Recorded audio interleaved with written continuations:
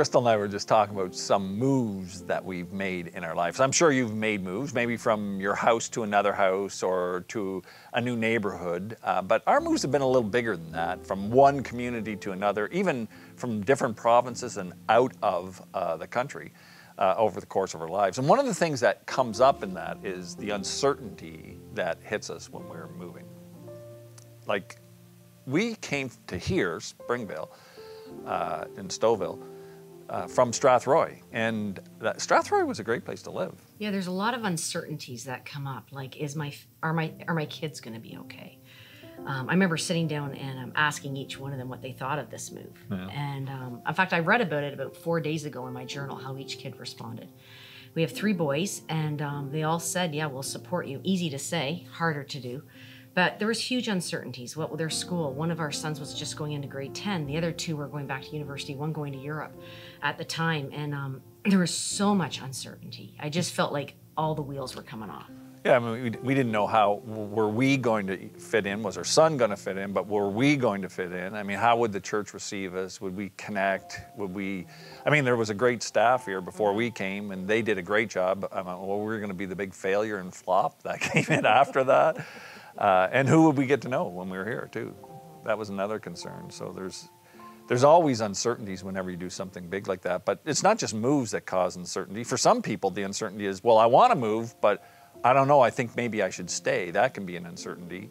Uh, another uncertainty can be uh, letting go of your child. Like they're growing up, they want to go to school, they want to leave your community, so letting them go, or letting go of a toxic relationship. That can be really hard. You, you like the person, but this thing is going south, and so uh, that's not a good thing.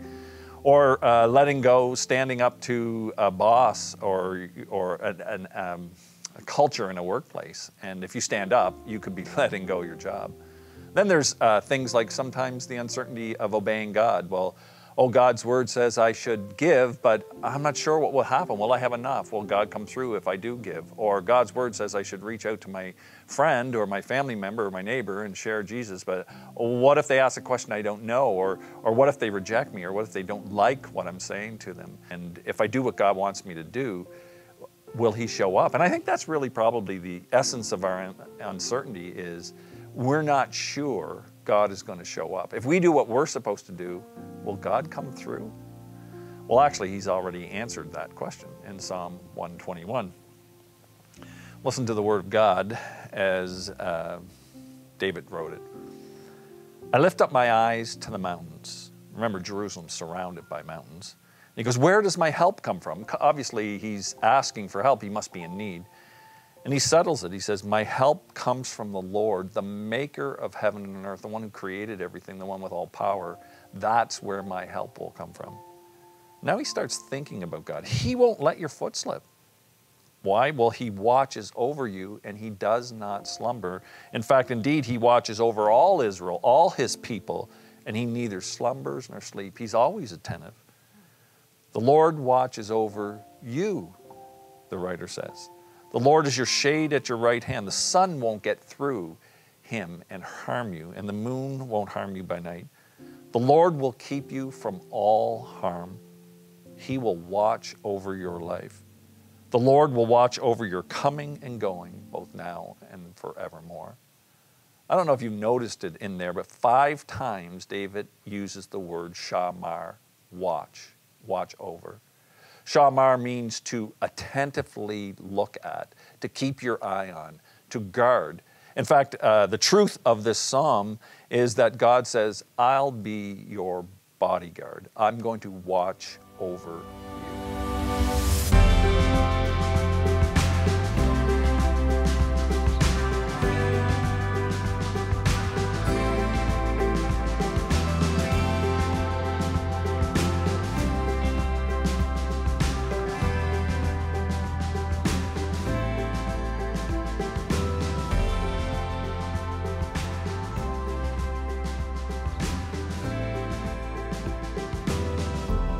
So when we, when our boys were younger and we were family, Crystal and I would often take them bike riding and usually there was a park like this somewhere along the way and we would stop and the boys would play in the park. Now we didn't leave them at the park and say, hey, we'll be back in a half hour, uh, have fun and then take off. Uh, instead, we would park our bikes and we would go just off to the side where we could see them clearly, and we would watch over them in case one of them got hurt or maybe a bully came or an adult that was weird, and we were protecting them. We were guarding them, making sure that they were okay.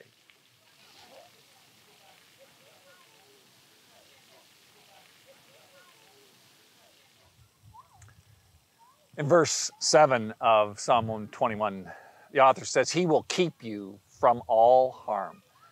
Now, it's easy to think, well, I, I, God, I've got harm in my life right now. I, have got pain, things that are really hurting my family, my health, my finances, my fears, what's going on. Like, how can you say God will keep me from all harm?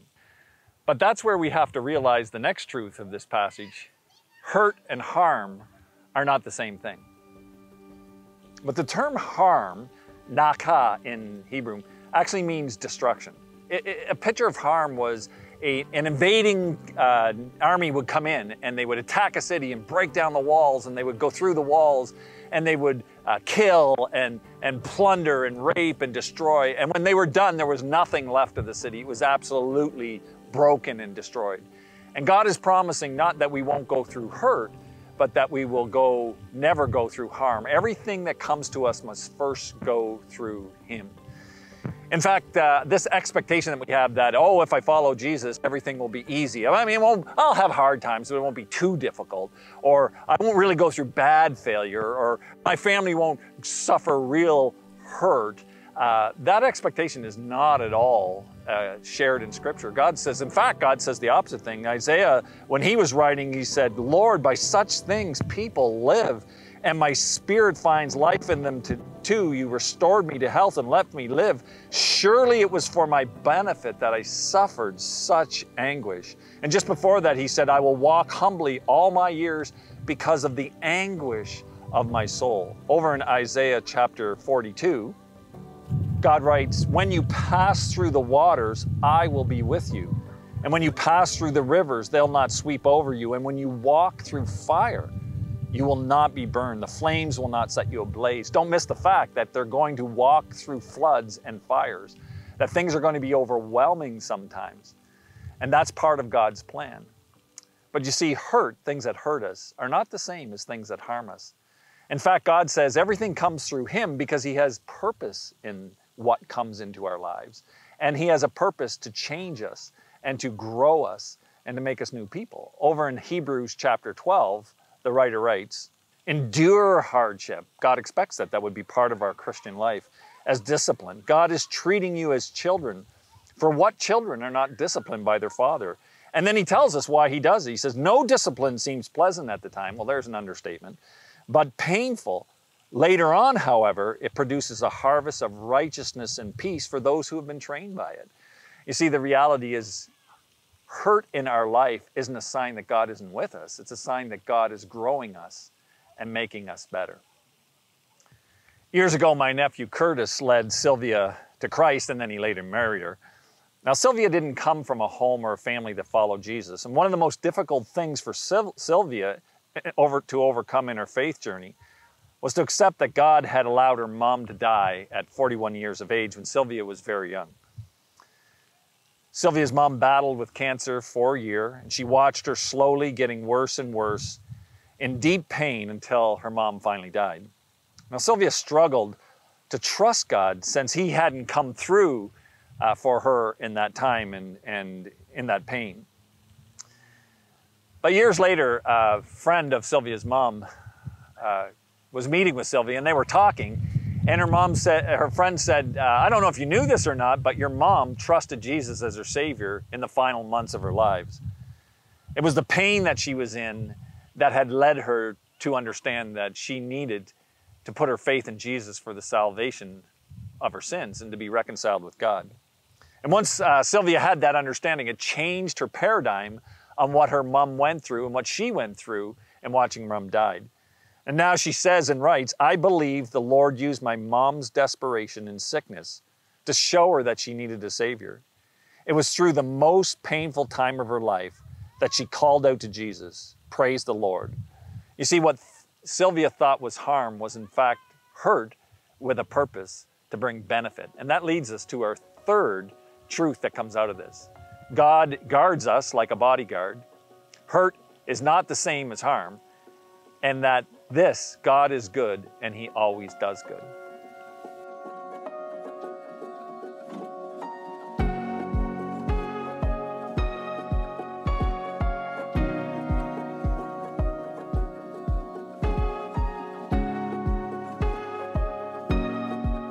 So God is good and He always does good. You know, uh, verse 2 says that my help comes from the Lord. And then verse 8 says, The Lord watches over my coming and going, both now and forevermore. God is there. He everything passes through him, and and he he allows hurt in our lives um, that won't harm us. And what he's doing is good. And that's the belief part. That's where the choice to believe God comes in. Do I trust him that what he is doing, though it's hurtful in my life, that will actually bring benefit? You know, Jesus had to ask that same question or go face that same question because in the Garden of Gethsemane, there he was praying and he was saying to God, Please take this from me. Please take the beatings I'm going to go through, the attacks I'm going to go through, the murder that I'm going to go through, and then the separation from you that I'm going to go through. Take it from me. But nevertheless, he said, Not my will, but yours. And at that moment, Jesus had to choose is God good and does he always do good even if I can't see it? Will I choose to trust Him? Or am I going to choose to let the uncertainty and the fear in my life control me? So, what do we do about this as we go forward? Where do we go from here? Four words. First, identify. We've got to identify where uncertainty and fear are controlling our lives. What situation, what person, what thing is it that we're going through that God is causing us to doubt God or causing us to wonder if God is there? Identify it. Maybe you do a shout out here and you go to a friend or a, a spiritual leader or a counselor and, and clarify and identify what it is that's causing the unrest in your soul, causing you to doubt God, make you to fear God. The second word I would say is then ask. You know, Jesus asked that it all pass away from him. Now, with Jesus, the Father said, No, you must go through this. But other times in Scripture, people ask and God delivers them. And so, why don't you ask? There's nothing stopping you from asking. Go to God as a child and just say, God, take this from my life. Sometimes He does. Well, if He doesn't, then uh, the third word is to trust. So, this is where you get to choose and where you need to choose. Are you going to trust that God is truly your bodyguard, that He is good and always does good, and anything that comes into your life, even though it's hurtful, will never be harmful? In fact, it'll be beneficial. Trusting will sometimes mean waiting, waiting for God to see this through. Sometimes it's a week, sometimes it's a month, sometimes it's years. But we're always brought back do we believe that God is good and that He always does good? And we need to trust Him. The fourth word I would say is if you're in a trust situation, is act. Don't just sit pa- pa- uh, passively and wait for this all to end. And you can turn bitter or angry, and that can grow in your spirit. But instead, act. Find someone that you can serve. Find someone, in fact, that maybe is going through your uncertainty and your fears, and walk with them. And together pray, to, or maybe you encourage them and lift them up. But don't remain passive. Act act with the opportunities God gives you. So identify what's really happening in your life. Ask God to remove it. And if He doesn't, then trust Him. And then if you have to trust Him, don't go on hold. Act. Put your faith into action, your trust in God. Let me pray with you. Jesus, today, you modeled for us what it means to choose faith over fear, to choose faith in our uncertainty.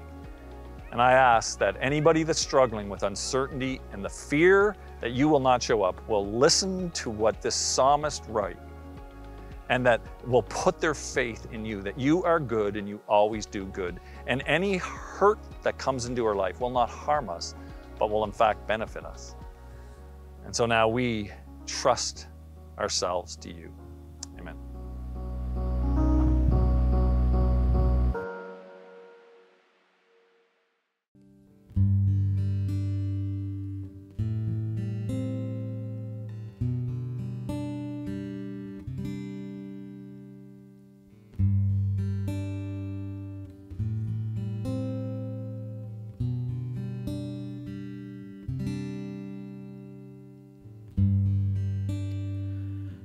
wherever you are, just receive these words.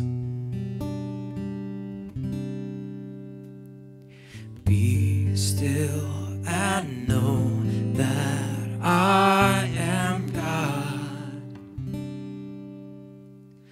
Be still.